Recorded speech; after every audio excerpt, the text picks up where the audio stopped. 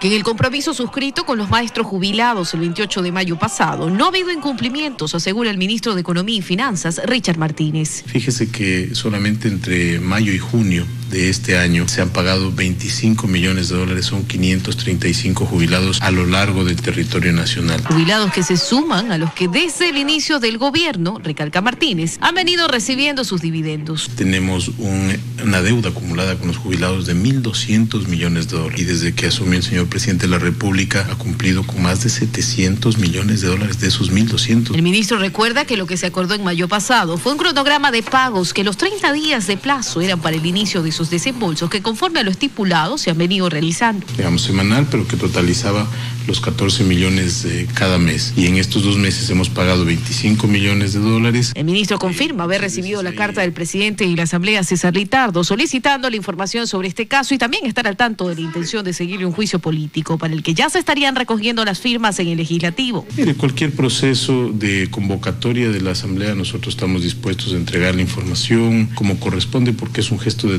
transparencia. Lo que sí hacemos un llamado a que no se preste un hecho doloroso como este a la politización, a la demagogia, al eh, irrespeto, al dolor ajeno. A los maestros jubilados que este miércoles ya anunciaron una nueva huelga de hambre, los invita nuevamente al diálogo. Conversar, dialogar y dar estas opciones. Yo creo que con el instrumento de los bonos que ya está listo para salir en operación en los próximos días, vamos a tener la oportunidad de aliviar la carga eh, pesada que tienen muchos de los jubilados. Como parte de las acciones realizadas, muestra esta carta dirigida al superintendente de compañías pidiéndole que se tomen las medidas pertinentes para que esas casas de valores que a los jubilados los han estado llamando para convencerlos de que acepten y trancen estos bonos voluntarios, deje de hacerlo de inmediato. Luisa María Heredia, 24 horas.